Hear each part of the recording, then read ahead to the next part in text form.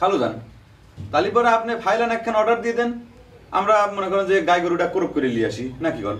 এবারটা তুই আগুই কথা কথা দেখ না খালুজন চিন্তার মধ্যে আছে।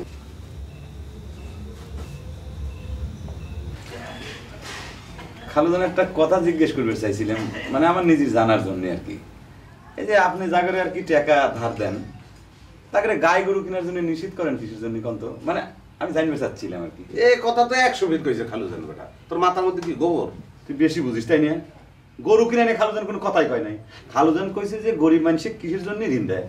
বড় লোকের টাকা মারি দেওয়ার একটা ভয় আছে গরিব মানুষের কাছে টাকা মারি দেওয়ার কোনো ভয় নেই। তাই না খালুদান ঠিক কইছি না। গাই কেনা নিষেধ কিসের জন্য? সেটা ভালো করে শুনে না গাই গরু কিনে চাষার বাচ্চারা যদি দুধ ভাত খাওয়া শুরু করে তাহলে সব বুদ্ধিমান হয়ে যাবে। আর বুদ্ধিমান হলে পরে আমার সুদের ব্যবসার জন্য হুমকি ও হয় এই জন্য তো খালুদানের সব সময় বলদ কেন লিখে টাকা দেয় বলদ কেন? আসতে বলদ এই কথা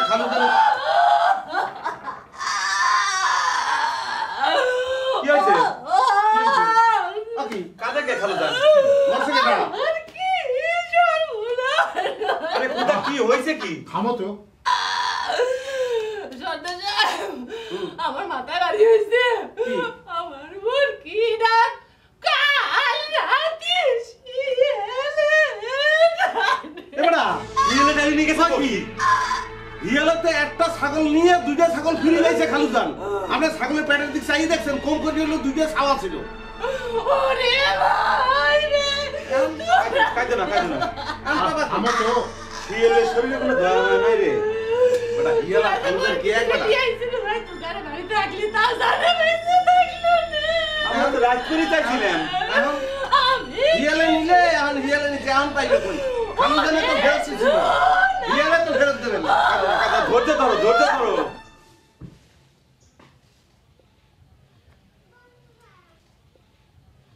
এই মাসুদ কা এই। এই সুন্দরী গলে গেছে। বাড়িটা এত শুনশান কেন? জানো না কিছু? সুন্দরী তো সর্বনাশ হয়ে গেছে জহর ভাই। ছাগলটা শিয়ালে খায় ফেলাছে সুন্দরী কাঁদতে কাঁদতে সর্দারের বাড়ির দিক দেখলাম দৌড় দিল। ছাগল শিয়ালে নিছে তার জন্য সর্দারের বাড়ি যাওয়া লাগবে কি জন্য? তার কাছেই তো সব জহর ভাই। ছাগলের মালিক তো ধরবে গেলেই সর্দারি ছাগল তো গেলই। এখন সর্দারের ঋণের টাকা সুদি আসলে কিরম করে শোধ হবি এটাই তো বড় সমস্যা। তোমরা তো আমার কথা কোনো দামই দিচ্ছ না। কিচ্ছু হবি না। সুন্দরী সর্দারের কাছে যাবি না। দেখি সর্দার কি করবে পারে। গরিব মানুষ তো ভাই সাহস পায় না। এই যে দেখেন আমার গরুটাক জোর করে কারি লিবার জন্য কত বড়ি উঠি বড়ি লাগছে। আমি তো মুহির পার কয়ে দিছি যে দে বলা। তারপরেও তো মনের মধ্যে একটু ভয় ভয় করেই ভাই। হাজার হোক ওরা তো ক্ষমতাবান মানুষ। চুপ করো ক্ষমতা। ওই রক্ত চুষার ক্ষমতা ক্যাবা করে নাই হয়ে যাবার পারে দেখবার পারবা। বাদ দাও। চলো বসি। সুন্দরী আসুন। এই বিপদের সময় ওরে তো একটু সান্ত্বনা দেওয়া লাগবে নাকি? চলো। একলা মানুষ। আশেপাশে কেউ নাই। এই ঘুরে দেওয়া সমাজ। এই যে প্রবলেমে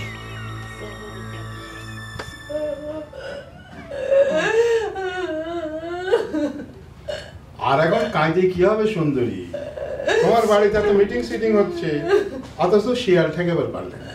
শিয়াল ঠেকাবে কেবা করে খালুদান আমার তো মনে হয় কি যে মিটিং করেই বাড়ির পর শিয়াল আসার সুযোগ করে দেওয়া হয়েছে তাই না সুরাট হুম হুম। আমি তো কোনো মিটিং সিটিং এর মধ্যে নাই সর্দার সাহেব। থাকলেও আমার সমস্যা নেই। তোমার কাছে আমার ছাগলটা ছিল। শিয়াল এনেই কাল মরে যায়। দায়িত্ব তো আমার না এটা আইনের কথা। এখন তুমি চিন্তা করে দেখো। শুধু আসলে আমার টাকাটা তুমি কেবা করে দিবে। এইসব আপনি কি কথা কন সর্দার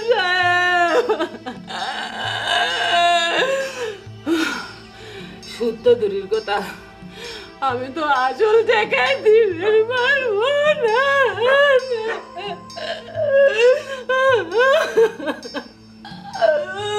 উপায় তো কোনো না কোনোভাবে বাইর করা লাগবে সুন্দর। তুমি এখন যাও। ছাগলের শোকে তুমি কাতর হয়ে আসো। তোমার শোক কাটুক। তারপর আমি তোমাকে একটা উপায়। হয়ে গেল। দেখছ খালুজানের ব্যক্তি গরিবের বন্ধু যে বলে, কিসের জন্য বলে? এইরকম একটা বন্ধুর বিরুদ্ধে তোমরা মিটিং করো। যে ভুল করছ, বাড়ি দিয়ে এই লিগে করো।